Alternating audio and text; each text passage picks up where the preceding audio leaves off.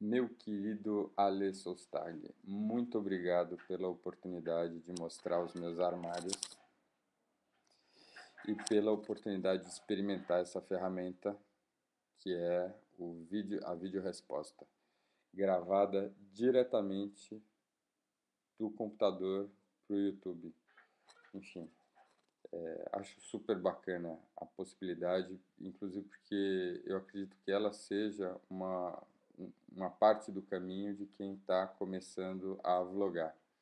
Né? O sujeito primeiro enfim, se inscreve para poder comentar, avaliar os vídeos, uma hora toma coragem e faz uma vídeo resposta como essa e eventualmente isso evolui para a criação de, de vídeos ocasionais até vídeos frequentes.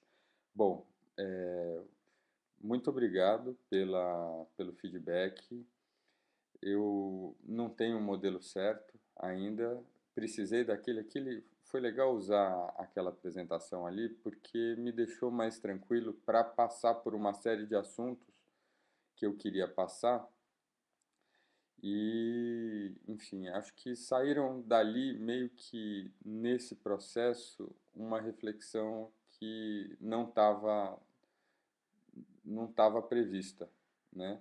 Eu acho que eu usei aquilo dali para pensar alto. Isso é uma coisa que eu quero falar com você. É, não estou me justificando, enfim. Estou dizendo o que, que eu vivi fazendo aquilo, né? E a outra coisa, a, a tentativa aqui não é de fazer videoaulas, né? A tentativa aqui é de explorar as possibilidades da ferramenta da maneira como for, ou seja, trazer a teoria, trazer algumas reflexões e colocar essas reflexões à prova, né? usando a ferramenta publicamente recebendo esse feedback. É, enfim, é, nesse sentido, acho que a frase de efeito no final das contas é dizer que é, esse é um projeto que não é TV, né?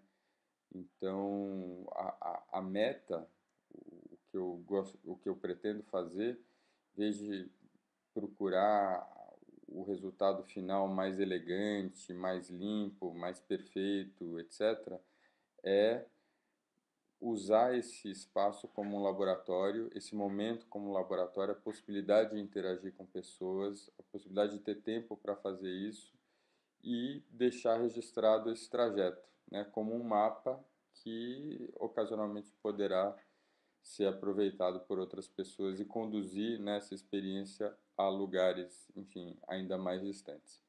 Beleza? Obrigadão. Tem que abrir a porta para a gatinha aqui que está miando.